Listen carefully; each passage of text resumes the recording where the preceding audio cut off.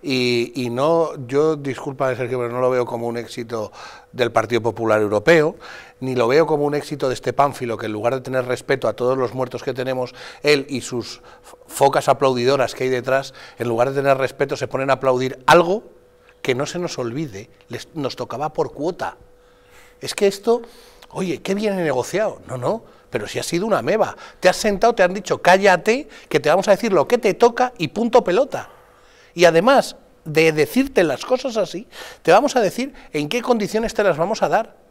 No es que usted haya sacrificado, se haya negociado eh, hasta las 6 de la mañana. Usted está sentado a las, hasta las 6 de la mañana porque le estaban diciendo cuánto le tocaba a usted. No estaba usted luchando por, por, los millones, porque toda Europa ha tenido cuota con esto. ¿eh? Es más, usted había pedido una cantidad que no se le ha dado ni por asomo. Lo acaba de decir el señor Centeno.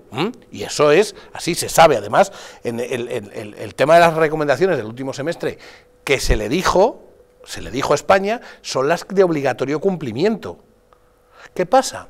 Claro, estos llegan a España, llegan con tantos millones y todos frotándose, todos los socialistas, todos los comunistas, frotándose las manos, y sus amigos filoetarras y que quieren destruir España, frotándose las manos y diciendo, ¿cuánto me va a caer a mí de esto? Porque todavía se piensan que va a ser así. Este dinero no va a llegar a España hasta, hasta por lo menos diciembre de este año.